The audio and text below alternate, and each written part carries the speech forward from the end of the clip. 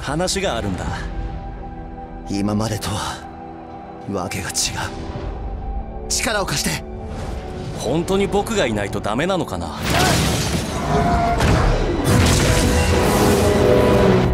二人じゃないと。マイルズ！かなりまずい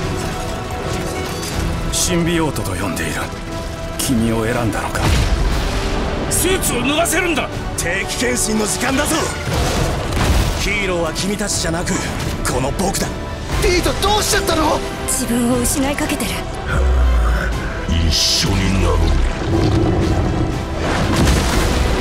あいつだビルごとロックダウンするまだピーターを救えるはず僕らは絶対に負けない